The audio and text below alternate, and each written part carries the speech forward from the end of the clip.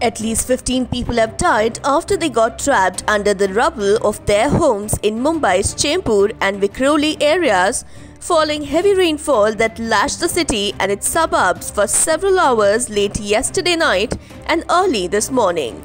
A red alert has been sounded in the city and people have been advised not to venture out in the open. A ground plus one residential building collapsed in Vikhroli area in the morning hours of Sunday, killing three people as per BMC, the city's municipal body.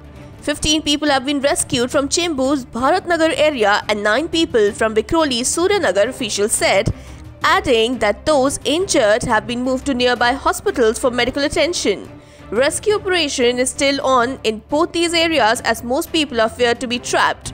The Mumbai city recorded 156.94 mm rain between 8 pm and 2 am, officials said, adding that the eastern suburbs recorded 143.14 mm and the western 125.37 mm respectively. The downpour caused heavy flooding in low-lying areas of Chunabhatti, Sion, Dadar and Gandhi Market, Chembur and Kurla LBS Road. The visuals from ANI showed cars being swept away by undercurrents in Borivali East area.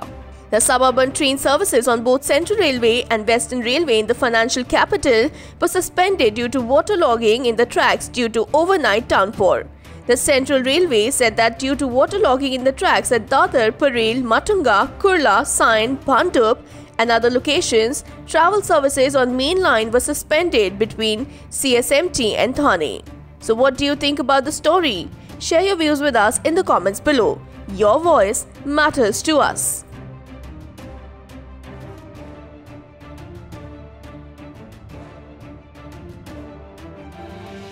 Subscribe to One India channel and never miss an update.